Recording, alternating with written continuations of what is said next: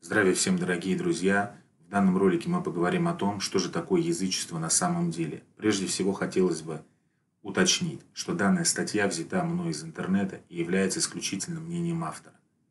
Я ни в коем случае не хочу оскорбить чувства верующих. Имейте это в виду.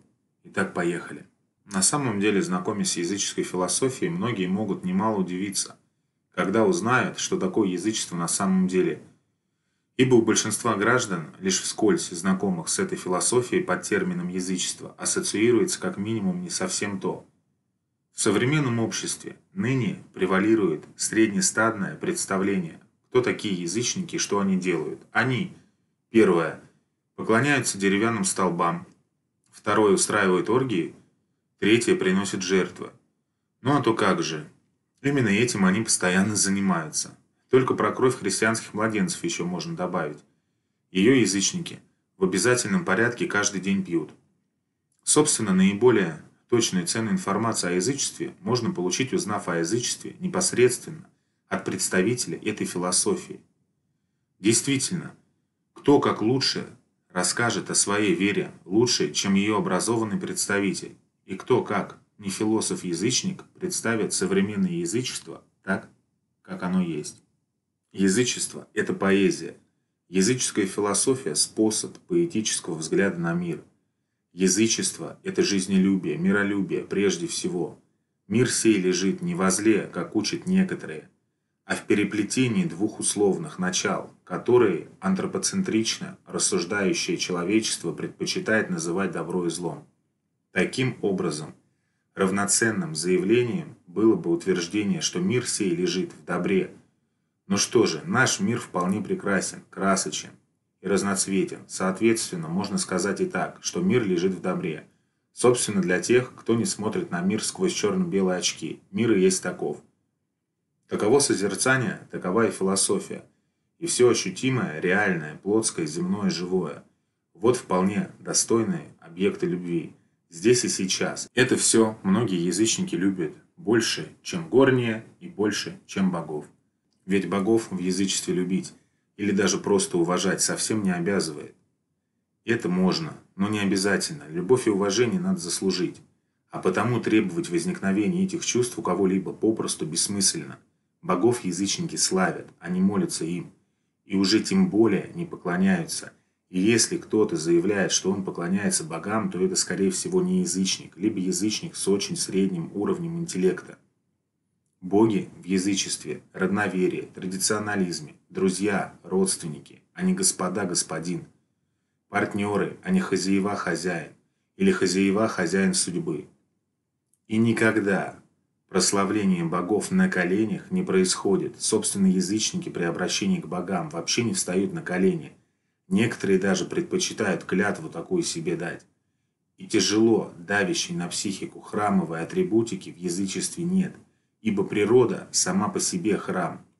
Капища устраиваются, как правило, в лесу или на полянах внутри леса. На капищах ставится статуя, чаще всего сварога, дида Божия, или Велеса, бога мудрости и богатства, либо реже статуи других богов, но бывает и просто стелу с изображением солнца.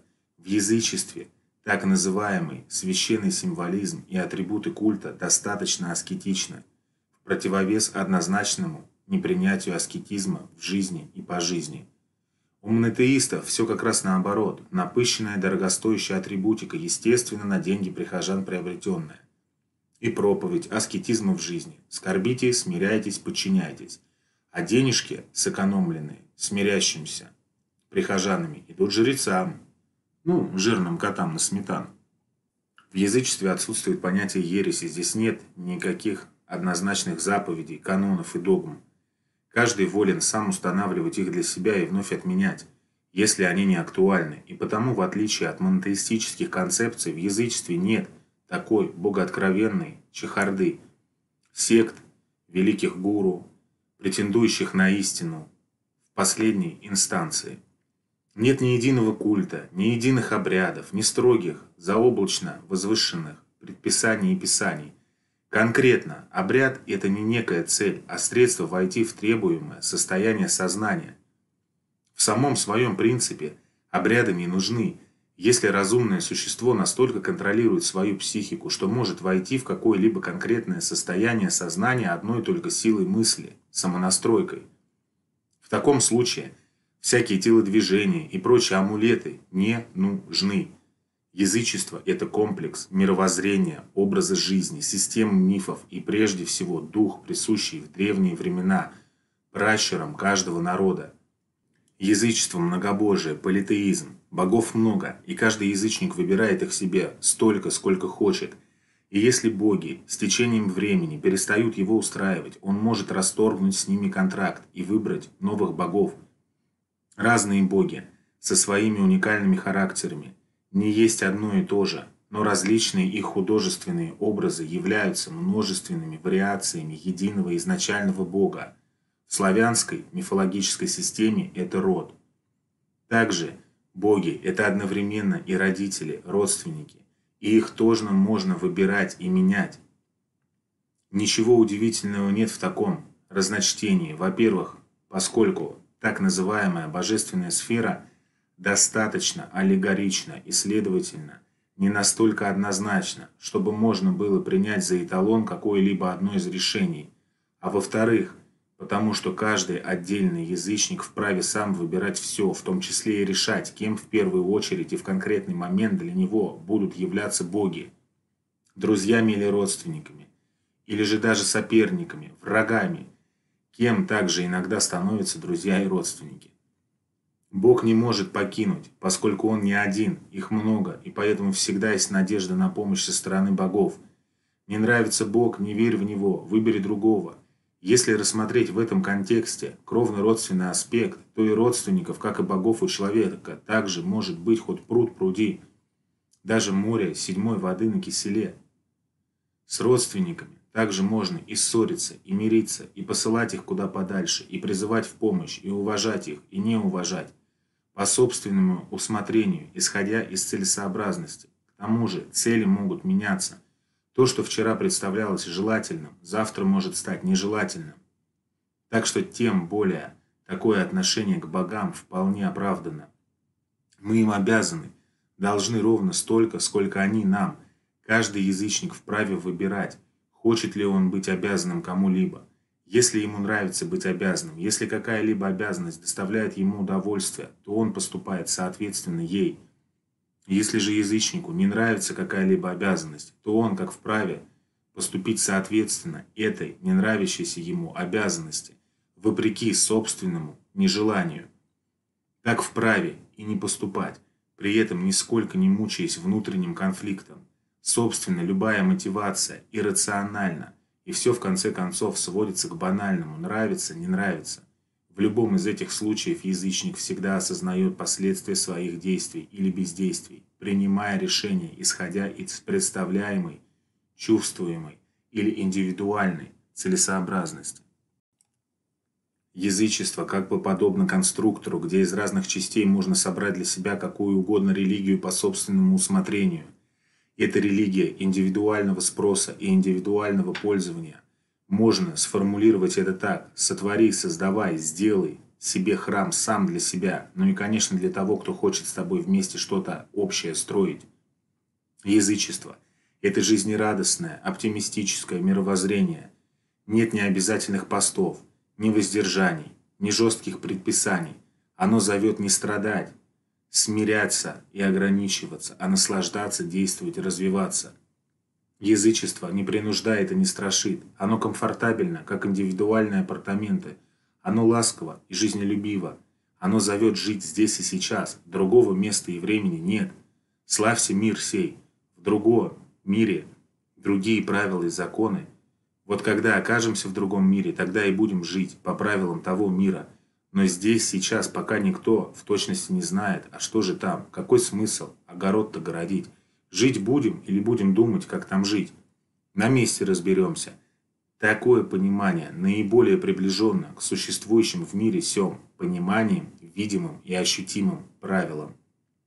В современных категориях язычество можно условно характеризовать как личная религия.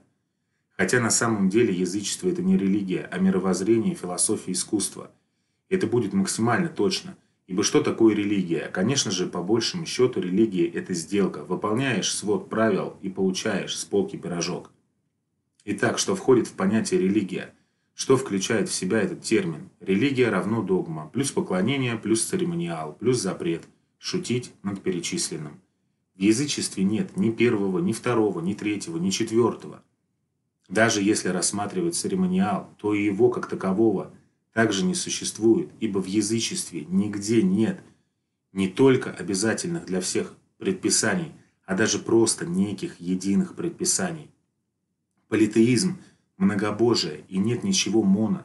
Все выбирается только индивидуально, каждым язычником отдельно. Конечно, в поздние предмонотеистические времена. Кое-где были такие извращения с предписаниями, как и что надо делать. Но сегодня, в современном язычестве, это занафталиненное старье нигде не используется, и, пожалуй, самое ценное отличие языческой философии от всех религий не запрет, а напротив, поощрение чувства юмора в божественных вопросах, поощрение способности шутить и смеяться над своими богами, над собственной обрядовостью и прочей атрибутикой, Языческие праздники сопровождаются веселыми играми, танцами, песнями, застольями, где богов не только благодарят и славят, но и юморно подкалывают или прогоняют, как, например, Зиму Марену при встрече весны. Ведь боги наши друзья или же родственники. Потому и отношение соответствующее. С языческой точки зрения к богам именно так и надо относиться, чтобы не зазнавались, а относиться ко всему божественному серьезно, как раз вот это уже и есть патология. Ведь, собственно, серьезность – это способ сделать простые вещи сложными. Так зачем усложнять, скажите на милость? Ведь жизнь не так проста, как она кажется. А еще проще. Кстати, подумайте над этим. Насколько это важно – уметь смеяться над собой и своими святынями. Цель у всех религий в принципе одна – заставить подчиняться тем или иным правилам. Кое-какие из этих правил разумные, выработанные здравым смыслом, а не данные свыше. Но такие и так соблюдают все граждане, поскольку это попросту выгодно для успешного функционирования в социуме. Но в большинстве своем любая религия заставляет существо подчиниться глупым и абсолютно ненужным правилам. Религия выполняет роль некоего сдерживающего фактора, потому что не у всех граждан хватает разума поступать правильно. Религия, как свод моральных норм, существует для того, чтобы те, кто не умеет мыслить самостоятельно, приносили меньше вреда. Как сказка нужна каждому ребенку, так и религия нужна ребяческому сознанию человечества. Человечество инфантильно, без доброго Деда Мороза, приносящего подарки за хорошее поведение, и злой Бабы-Яги, могущей утащить в темный лес за плохое поведение. Оно не может обходиться – но религия не нужна тем индивидуалам, которые мыслят самостоятельно, у которых свои ценности и своя точка зрения. Им могут быть интересны поэзия, музыка, философия. Иным словом, все то, что есть искусство, которое является исключительно свойством разумных существ, и которое как раз и обладает способностью преодолевать запреты и ломать правила. Язычество – это солнечное, отдающая человеку для человека сила, как бы вектор извне, в отличие от монотеистического лунного вектора изво. Сори, конечно, это все в рамках примитивного дуализма, но иначе тему сию все равно не раскрыть. Конечно, дуализм сам по себе во многих случаях бывает обратен. И потому чистый дуализм в принципе невозможен. Но все-таки в основном здесь дуализм присутствует в определенной степени. Можно также сказать, что суть язычества в свободе от внешних ограничений, в стремлении к цельной жизни, настоящее освобождение, причем при этой жизни, приносит только та религия философия, которая обходится без догматических оков. Ибо догмы, противоречащие человеческому естеству, превращаются в кандалы. Поклонение богам в язычестве отсутствует. Поклонение всегда включает в себя элементы, принижение себя перед объектом поклонения и испуганное либо восторженное восхваление его в какой-либо форме. Поклонение также всегда включает явный приоритет цели объекта, поклонение перед личным. Поклонение – это тенденция – отказаться от независимости своей личности, слить свое «я» с кем-нибудь и чем-нибудь внешним, чтобы таким образом обрести силу, недостающую индивиду. Разумная и самостоятельная личность во всем этом не нуждается. Боги не хозяева, а друзья, партнеры, родители, родственники. Они самостоятельные личности со всеми вытекающими. Разве родителям, друзьям поклоняются? Язычники предпочитают богов славить, чтить, но не поклоняться. Однако здесь следует заметить, что славление богов может принимать самые различные формы, от вульгарного восхваления их могущества и признания своего подчинения перед ними, что как раз весьма близко граничит с поклонением, до простого и скромного упоминания богов как своих славных предков, которые с точки зрения язычника достойны уважения и доброй памяти, и на которых можно равняться в стремлении самосовершенствоваться. Впрочем, многие язычники даже не славят богов, незачем, а поддерживают с ними взаимовыгодные отношения, плюс магически работают с ними. Воспринимают их как родственников, как друзей, как безликие силы природы, либо иногда комбинированно некоторых богов, бывает даже и как врагов воспринимают. Поскольку, например, лично кому-либо конкретные боги приносят больше вреда, чем пользы. Язычник выбирает богов для себя, а не боги выбирают язычника для самих себя. Здесь различие с монотеистическими религиями значительнейшее. В монорелигиях Бог использует и имеет человека, всенародный имелец, так сказать. А в язычестве человек использует и имеет богов. Собственно, так же, как и в жизни, либо вы идете по ней сами, либо вас по ней тащат. Хотя, с другой стороны, если ты всматриваешься в бездну, бездна начинает смотреть в тебя. Как таковые боги любые, и это антропоцентристское понимание сил Вселенной. Для удобства, изображаемые в качестве личностей в сознании, образы с уникальными характерами или наяву изображения статуи. С другой стороны, понимание природных сил как личностей, нарекание их именами, изучение их свойств и порядка взаимодействия – это искусство, поэзия, музыка. Умные язычники все это понимают аллегорически и не испытывают некого священного трепета перед образами богов, возникающих в сознании при инвальтации соответствующим эгрегорам, или перед образами богов, существующими наяву, изображения статуи. Равно, как не испытывают подобных же чувств и перед священными текстами, не говоря уже о том, что они преклоняют голову и не нагибают спину перед статуями и прочими изображениями богов. А зачем? То есть, для себя лично каждый язычник строит свою личную языческую концепцию, ибо язычество – это конструктор, из которого можно собрать самые разные конструкции по собственному усмотрению.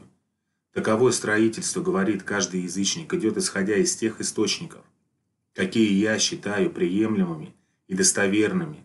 Возможно, я ошибаюсь, но главное, я не стою на месте. Это и хорошо, что каждый волен представлять себе картину в соответствии со своим собственным вкусом. Каждый сам себе искусствовед. В язычестве нет некой генеральной линии партии, отклонение от которой является некой ересью. В монотеизмах же такое никогда и нигде не приветствовалось. Там все наоборот. Все представители всех монорелигий утверждают свою наиболее исконность и первоизначальность. Например, все хтианские конфессии кичатся тем, что, дескать, именно они самые-самые истинные ибо более всех остальных соответствует духу истинного первоначального христианства, то есть ближе всего к первоначальному варианту нафталина. В язычестве все иначе. Степень соответствия представлений язычника тому, что было в древние времена, том древнем язычестве, не является неким критерием крутизны или некой истинности. Более того, язычество честно заявляет, возможно, мы ошибаемся – чего никогда не заявит ни одна монотеистическая религия. Напротив, все они будут иступленно утверждать, что они обладатели истины в последней инстанции и уж никак не могут ошибиться, ибо далее идет демагогия. Применительно к монорелигиям имеется в виду ошибаться в догматических вопросах, ведь признание ошибок прошлого не есть одно и то же, что в настоящем – времени говорить «возможно, мы сейчас ошибаемся». У нас, язычников, современности, есть главный ключ. Язычество, являясь полифилософией, а не монофилософией, никогда не претендовало на истину в последней инстанции, а напротив, всегда подразумевало множественность и многообразие и богов, и, соответственно, путей и истин. За всеми шурой древних воззрений наши предки дали нам этот главный ключ – множественность путей, которые можно выбирать для себя, совмещать их или же вообще идти вне дорог, как внедорожник. Так зачем нам старый, древний, деревянный велосипед? От него не осталось даже рамы, только принцип движения. Корпус другой из металла и пластиков, колеса другие, крупные, шипованные и крепко держащие дорогу. Мотор новый, мощный, работающий на современном топливе. Рулевое управление модернизировано и подогнано до совершенства – из древнего велосипеда получился хороший мотоцикл Харлей Дэвидсон. То язычество, которое было у предков, это для них было хорошо и правильно. А мы, современные язычники, живем здесь и сейчас, и, соответственно, антидогматичности, языческой философии. Мы совершенствуем себя и свои средства передвижения, язычество множественным числом. Наши предки – были бы только за, если бы знали, что мы растем, совершенствуемся и созидаем новое, точно так же, как родители радуются тому, как растут их дети. Так что вопрос не в соответствии древнейшему варианту какого-либо изобретения, деревянный велосипед, самокат, без цепьевой передачи, на мускульной тяге, а вопрос в том, как все изобретенное использовать. Велосипед апгрейдится и превращается в роскошный Харли Дэвидсон. Зачем ездить на стареньком велосипеде, если есть Харлей? Впрочем, если среди современных язычников находятся желающие передвигаться на древних деревянных самокатах, никто их не осуждает.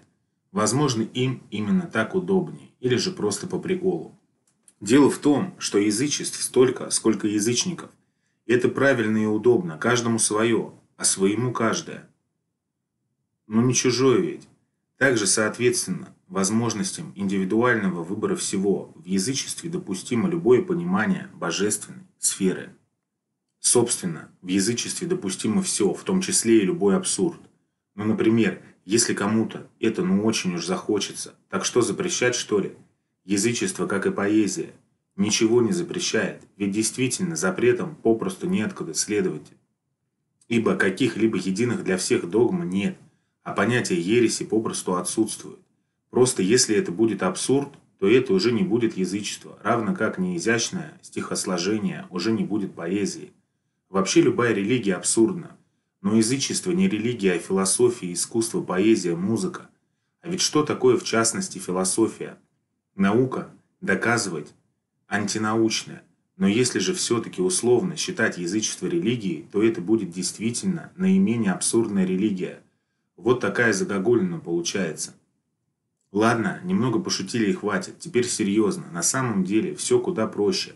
Самостоятельно мыслящему не нужны внешние ограничения в виде однозначно толковательных постулатов или чего угодно другого. Таковой свободный гражданин сам ограничивает себя в чем-либо, где видит в этом смысл. Таковой самостоятельно мыслящий выбирает собственные внутренние ограничения, какие он сам считает нужным соблюдать. Ну а если кому-то удобнее пространство собственного мозга отдавать в аренду святому пахарю со священным плугом, это его право. Только после обработки мозгов таковым священным плугом человек обычно начинает повторять чужие слова. На вспаханных чужим плугом мозгах вырастают чужие мысли. Любая монотеистическая религия пытается доказать человеку, что он в действительности не обладает свободой, что в итоге снимает с человека всякую ответственность за собственное бытие, ибо оно предопределено Богом. В то же самое время любая монорелигия утверждает, что мы несем ответственность за собственные деяния, что ставит ее утверждение в один ряд с психическим бредом, ибо она с непоколебимой уверенностью одновременно утверждает взаимоисключающие понятия. Собственно, там, где нет свободы мышления, не может быть ни логики, ни любви, ни головы, ни сердца. И если чьи-то мозги не умеют работать без некой любой священной книги, то их лучше не трогать вовсе, бесполезно. Если кто-то кому-то подарил мозги, то потерял все. себя в первую очередь, свою личность, свою свободу, свою жизнь, наконец. Вообще можно заметить, что у тех, кто не умеет размышлять, например, без Библии, микросхема в голове, вполне серьезно, между прочим, и говорят, и действуют уже не сами эти люди, а микросхема в их голове. Она, эта злосчастная микросхема, полностью ими управляет. Биороботы, в общем. Собственно, верно было бы сказано, свобода – это преодоление того внешнего, которое все-таки подчиняет меня себе. Поэтому, если некто однажды признал, что сам устанавливает ценности – он может желать теперь только одного – свободы, как основания всех ценностей. Большинство людей, недостаточно самостоятельно умеющие думать, заблуждаются, что подобная свобода, без жестких пальцеуказаний богов, что «зя», а что нельзя, явится причиной некоего беспредела и самодурства.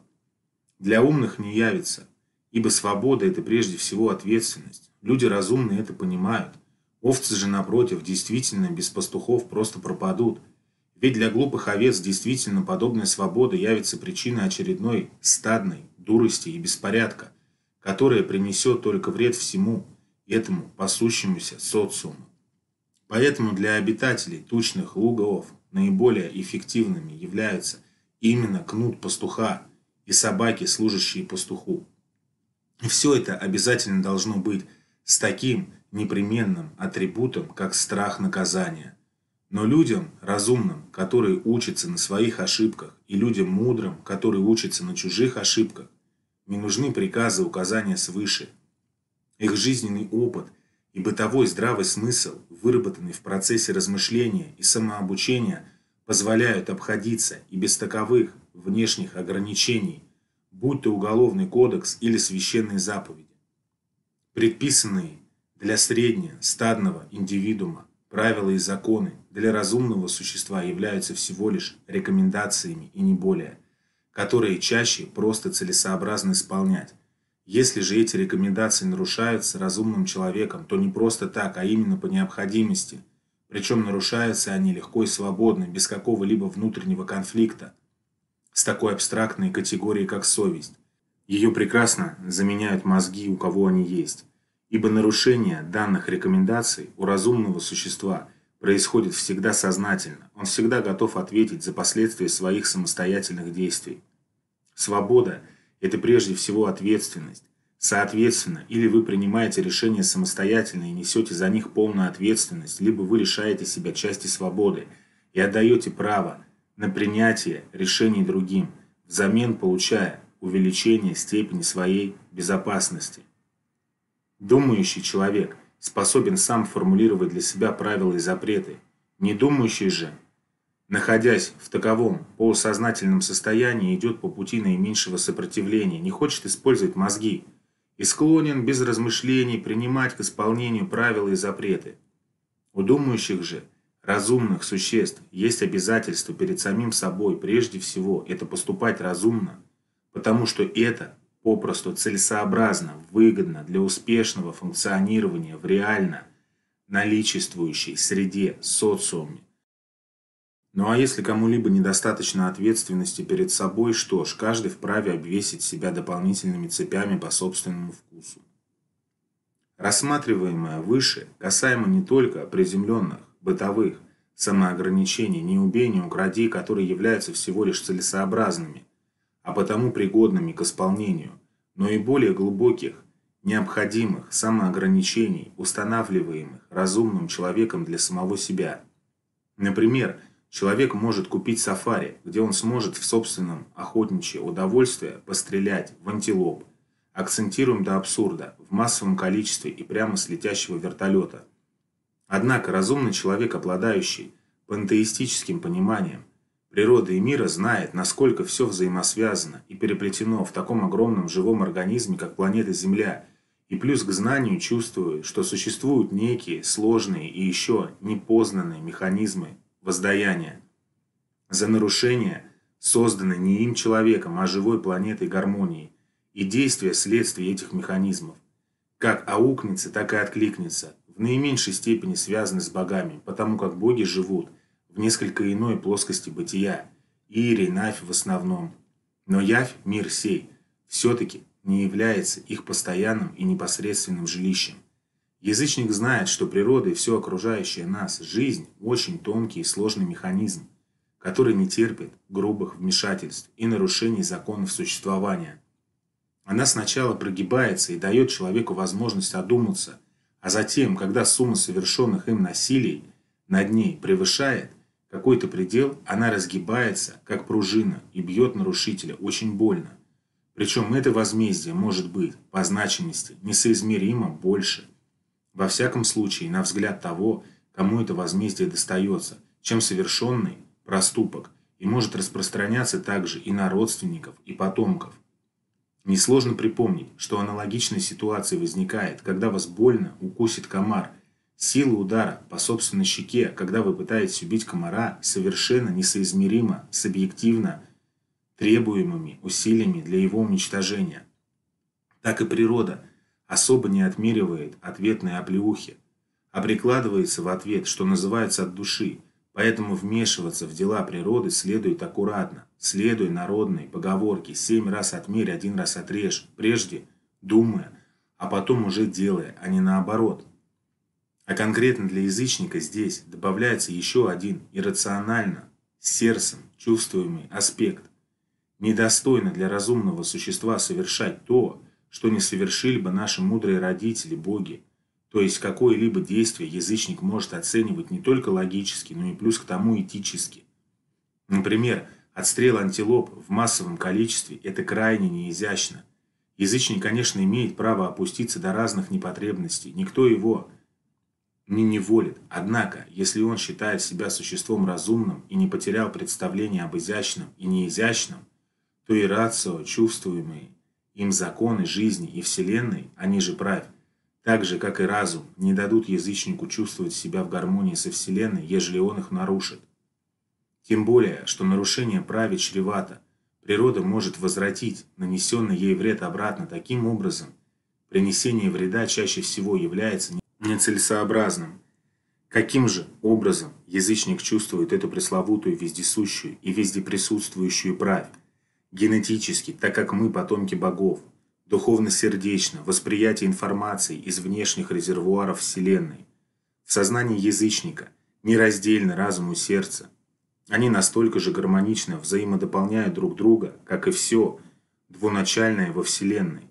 И поскольку Вселенная во всем похоже проецируется на все иные уровни, то также трудно до конца однозначно утверждать, что откуда исходит. Язычник просто пользуется обеими резервуарами мудрости и разумом, и душой, сердцем. Конечно же, отдавая предпочтение разуму, ведь именно разум отличает человека от животного.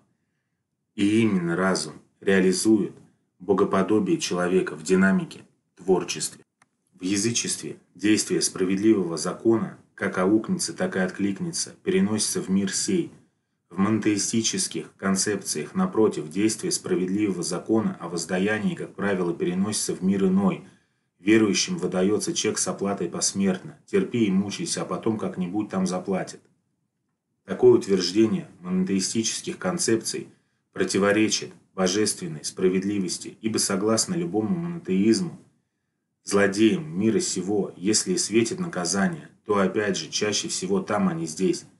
Отсюда чисто языческий философский вопрос, если такое положение дел противоречит праве, божественной справедливости, то Бог ли сейчас на небе? И если не Он, то кто?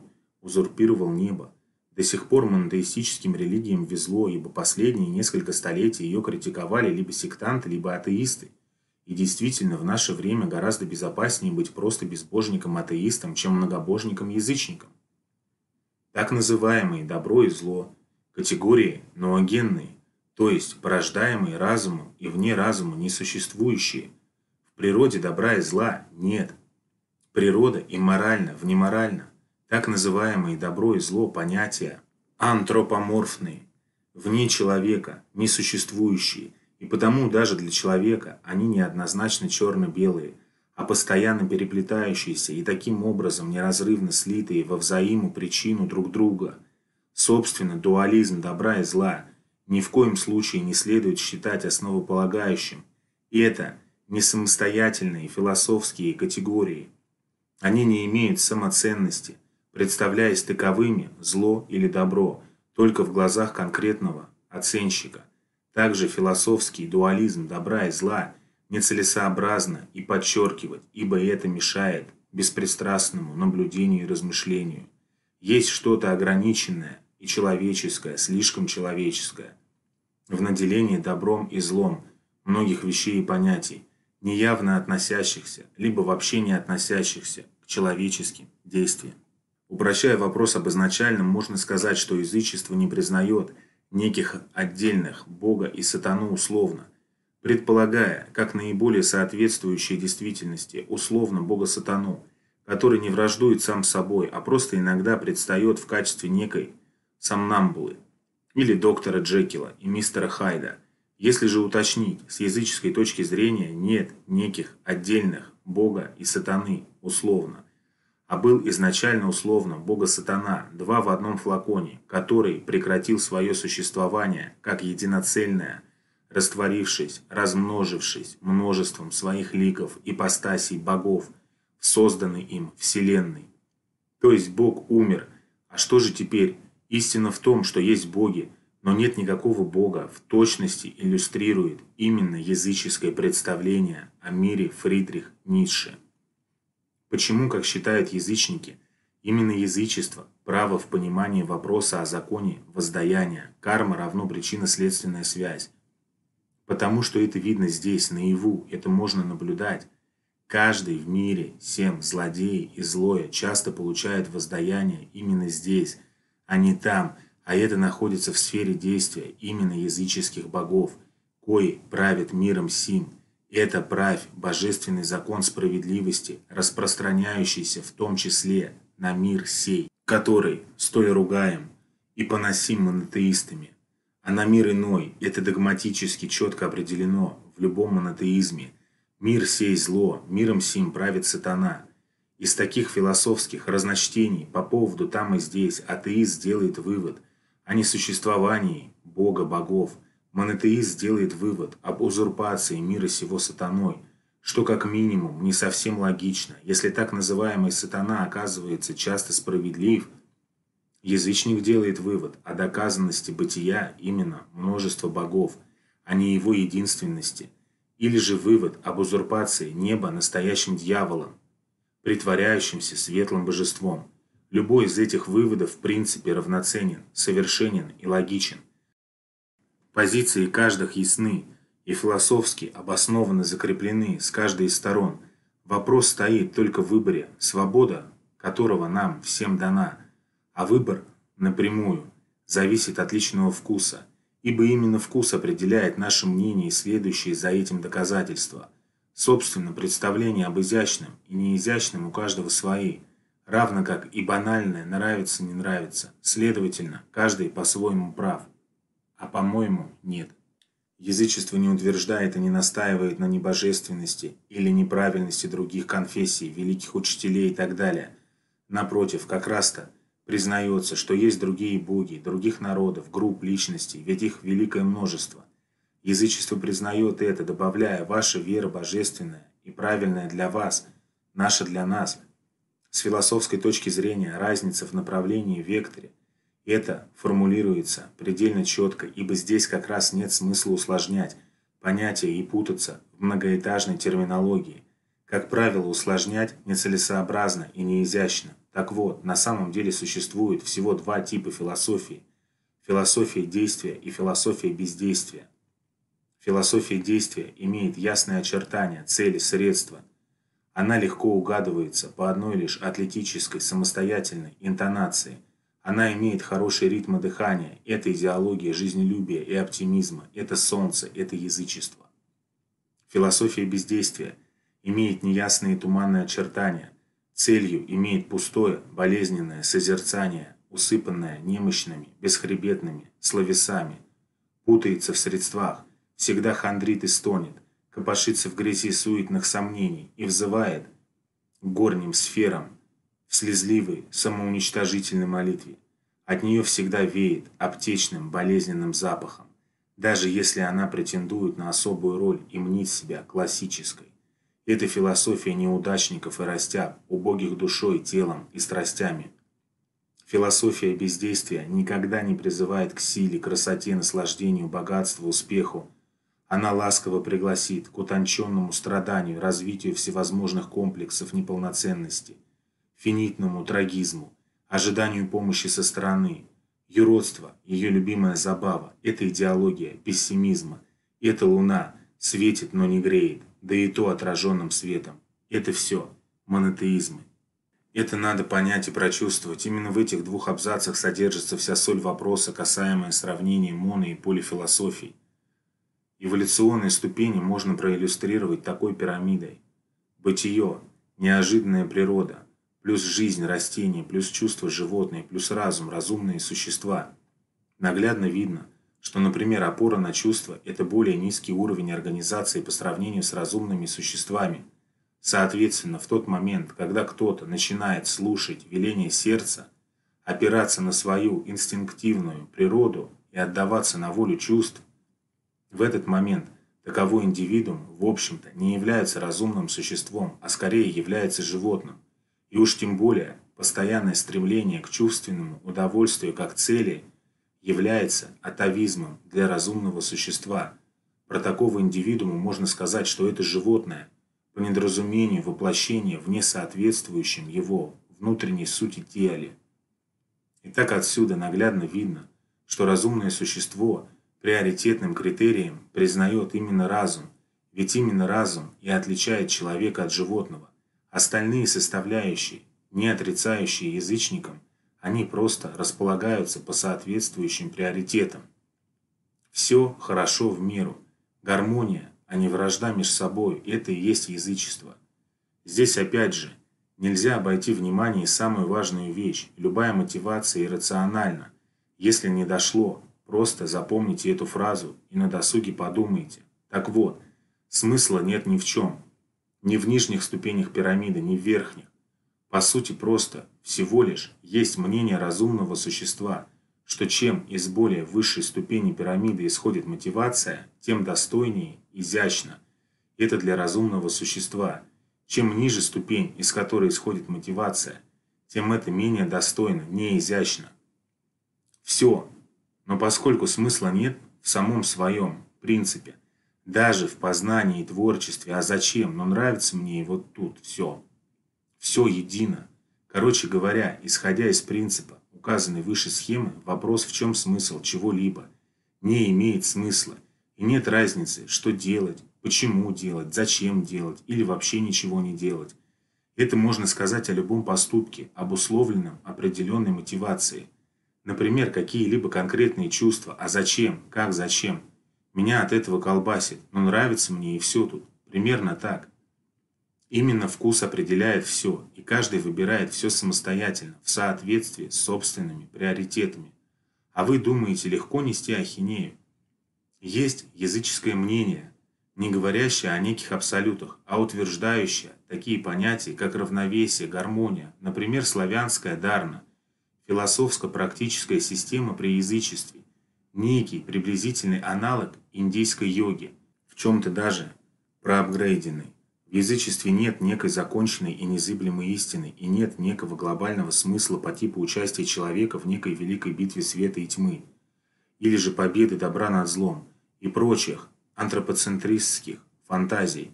Суждение добра и зла есть болезни разума.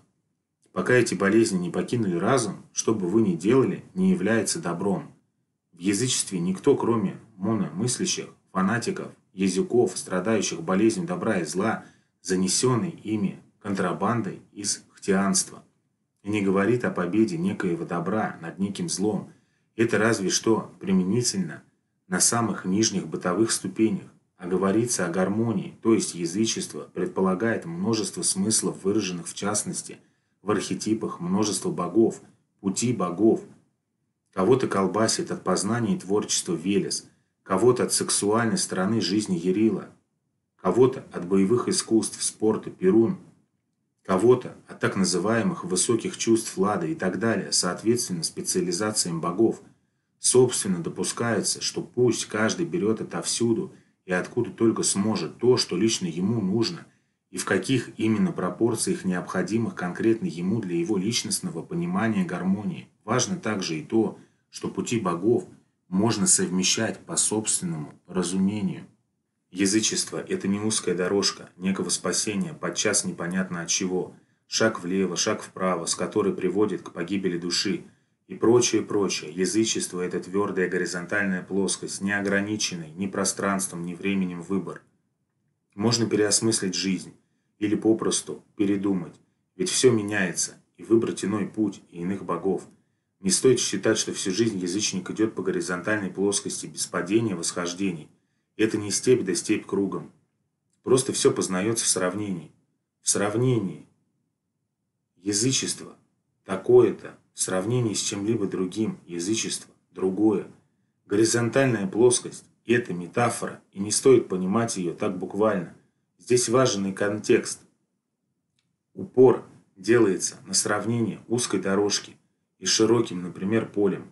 Если с узкой дорожки можно оступиться и упасть в пропасть, то на широком поле, горизонтальная плоскость, можно ходить, не опасаясь этого. А некоторые, например, идут не по пути, не по плоскости, а вообще вне дорог. Наш мир трехмерный. Можно рассмотреть вопросы так. Языческая философия поэтически дополняет картину Вселенной и силой, действующей в ней. Она согласуется с физикой. Под Богом, ею, понимается вечный изначальный хаос, плюс рожденный им вся Вселенная, плюс все силы, боги. Соответственно тому, что изначальный Бог под пирамидой, изначальный хаос, то применительно к приведенной схеме, плюс разум, разумные существа, плюс чувства, животные, плюс жизнь, растения, бытие, неживая природа. По ступеням пирамиды вверх, от Бога к себе, к себе новому, себе Богу. По ступеням пирамиды вниз, от себя к Богу. Папочка, возьми меня на ручки. Монотеистический инфантилизм. Собственно, по наглядной аналогии, ребенок идет от родителей к себе родителю. Противонаправленный же путь от себя взрослого к себе ребенку. Это сознательное отрешение от собственного разума и перекладывание ответственности на папочку Бога, что не есть хорошо, ибо является по сути инфантилизмом, чем и являются все монорелигии. Пример – Исктианство, Иешуа, Назарейский. «Будьте как дети, взгляните на птиц небесных, они не сеют, не жнут, не собирают житницы, и Отец наш Небесный питает их. Вы не гораздо ли лучше их? Посмотрите на полевые лилии, как они растут. Не трудятся, не придут.